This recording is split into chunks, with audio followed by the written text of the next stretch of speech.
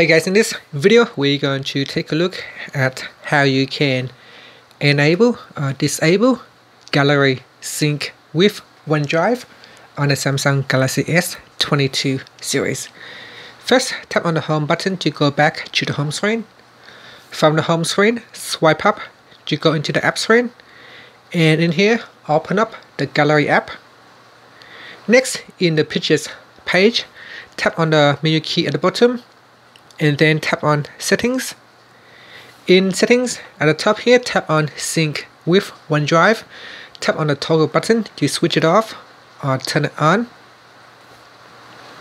Once you have turned it on, you can also tap on the left hand side.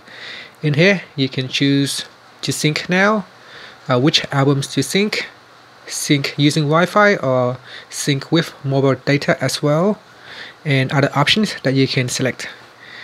And that's it. Finally, you can tap on the home button to go back to the home screen. Thank you for watching this video. Please subscribe to my channel for more videos.